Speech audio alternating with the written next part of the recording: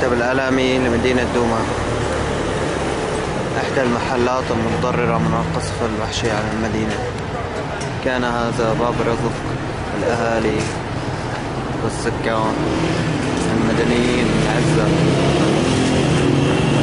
بأي ذنب تهجرهم وتمنعهم من باب رقصهم